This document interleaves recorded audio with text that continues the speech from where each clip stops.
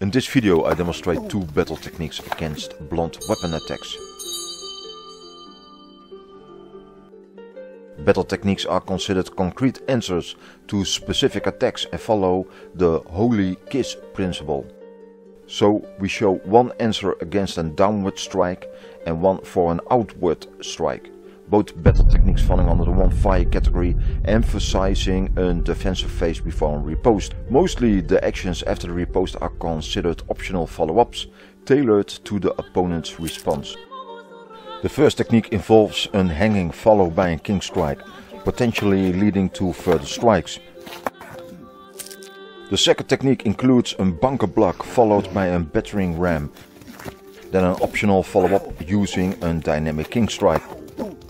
Our techniques are straightforward and effective, avoiding complex sequences, which may prove unreliable in real combat.